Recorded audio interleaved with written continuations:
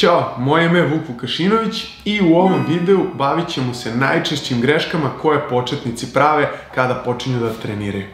Da sam imao nekoga pre 10-15 godina da mi sve ove stvari lepo složi i kaže kako treba da krenem, u kom pravcu treba da krenem, mislim da bih mnogo brže napredovao, da bih bio mnogo zaštićeniji od povreda i da bih sigurno uštedeo dosta vremena i para. Tako da, ukoliko oko sebe imate neke ljude koji su u početku ili su nešto odmakli, šerujte ovo sa njima, olakšajte im i učinite im taj fitness put lepšim. Pa da počnem. Na mestu broj 1 nalazi se pogrešna improvizacija. Tu pre svega mislim na one ljude koji stave znojnicu na glavu, uzmu opremu za fizičko i odu u teretanu i kažu znam ja to sve, trenirao sam košarku u osnovnoj školi.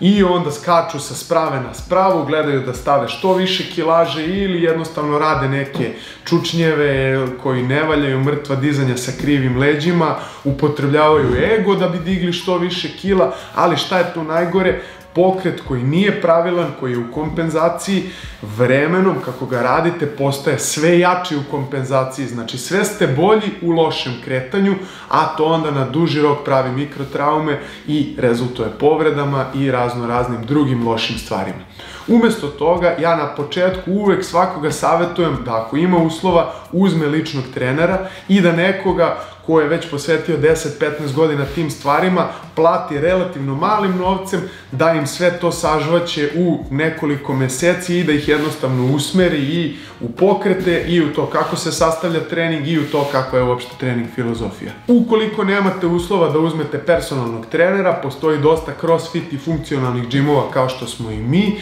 gde se radi pre svega pravilan pokret i apsolutno možete naučiti dobro funkcionalne pokrete u takvom nekom okruženju.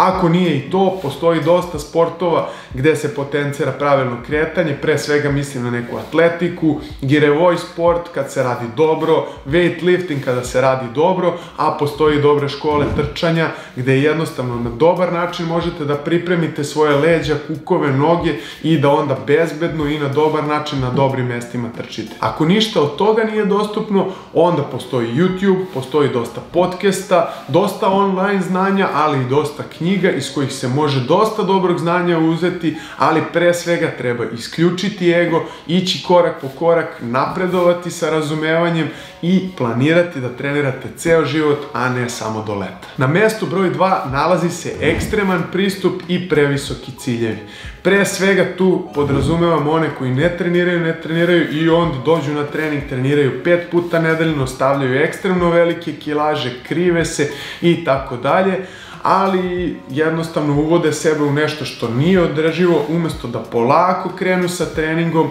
da se polako aktiviraju, da čak nemaju ni prejaku upalu mišića u prve dve nedelje, a onda da jednostavno nadograđuju od osnovnih stvari ka nekim posebnim. Isto se može primeniti i na hrani. Često vidim da ljudi uzimaju razno razne programe ishrane koje koriste bodybuilderi koji imaju 20 i više godina iskustva i onda početnik kada uzme da se hrani hrani tako, to je za njega ekstremno, to je za njega neodrživo i onda se samo čeka trenutak da se vrati na ono staro, da vrati kilažu, da izgubi sve benefite i da se još više razočara u proces. A u isto vreme i nefer, zato što početnici samo time što će da smanje prerađenu hranu ili da uvedu malo povrće ili da jedu redovnije, mogu da imaju ogromne benefite koji će jednostavno preskočiti ovim ekstremnim pristupom i neće na lak način da napreduju na samom početku razmisli svojom glavom. Na mestu broj 3 je fokus na bro splitovima. Pre svega mislim na grudi i ruke kod muškaraca, samo se to vidi iznad stola ili kad si obučen,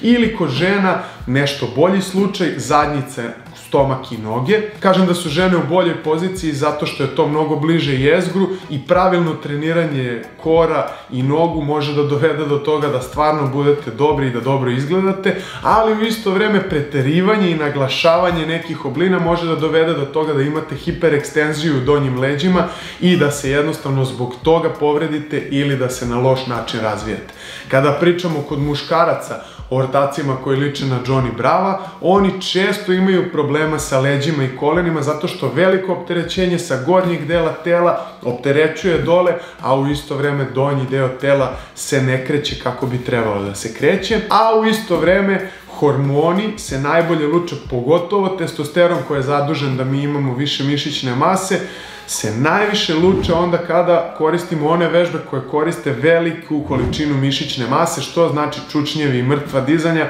što znači da ovaj bro split ne radi baš najbolji posao za nas. Na mestu broj 4 nalazi se loše tumačenje ili ignorisanje signala koje nam naše telo daje. Pre svega tu mislim na one bolove koji se jave na početku ili u sred treninga, a mi kažemo ma nema veze, izguraću trening ili namazaću ovu ili onu kremu ili će prestati kad se zagrejem i onda odradim trening. Ali na taj način mikrotraume ostaju i možemo vrlo lako da se povredimo jer naše telo nam je baš reklo da mu treba malo odmora. Isto tako, ako smo neispavani, ako smo umorni, ako nam je neka mišićna partija umorna ili nam jednostavno daje neki drugi signal, treba na to da odreagujemo, da možda istreniramo malo drugačije, da zaobiđemo bol, da uradimo parcijalni pokret ili slično i da na taj način zaštitimo sebe. Takođe, postoji loše tumačenje signala kad, na primer, nekoga bole leđa zato što je slab i zato što se nepravilno kreće i onda ode kod nekog doktora koji se baš i nije bavio tim stvarima, koji mu kaže ne, ne, ne, mrtva dizanja, čučnjevi, to nema šanse, ne treba to da radiš. A suština stvari je da mi svaki dan radimo čučnjeve kada ustajemo i sedamo na WC šolju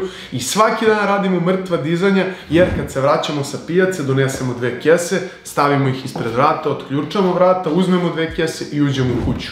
radeći te pokrete pod kontrolom na najpravilniji mogući način i progresivno sa opterećenjem mi ćemo se samo sve bolje kretati u svakodnevnom životu i osigurat ćemo sebe od bolova i povreda. Razmisli dobro. I na mestu broj 5 nalazi se fokus na pogrešnim stvarima.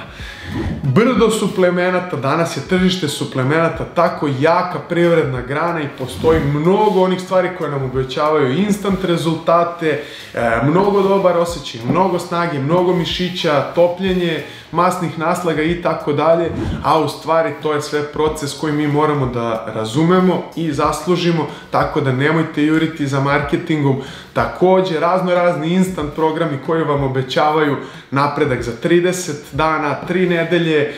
veoma brzo, 10 kila za 7 dana i sve ostalo, ostavite sa strane kao i razne druge trendove koji su sada ispred nas sve vreme i govore da su mnogi uspeli mnogo toga dobrog da naprave sebi zbog korišćenja tih trendova. U stvari, verujte u proces, naučite pravilno pre svega čučnjeve, mrtva dizanja, potiske i vučenja, jedite što čistiju hranu, što bliže onom obliku u kom ga priroda daje i spavajte dovoljno, odmarajte dovoljno, a onda i koristite sve neke te posebne i trendi metode koje mogu, a ne moraju da vam pomognu i naravno u trenutku kada naučite osnove, kada malo odmaknete, vi ćete biti mnogo sposobniji da prepoznate šta za vas radi, šta vam prija, a šta vam ne prije. Drugari, nadam se da vam je ovaj video bio od koristi, da možete dosta toga korisnog da izvučete za sebe, tako da vam put bude lakši i usmereniji. Voleo bih ako biste se pretplatili na moj kanal, ako bi udarili thumbs up, meni bi to dalo dobru podršku. Sad vas pozdravljam, vidimo se u nekom sledećih klipova. Doviđenja!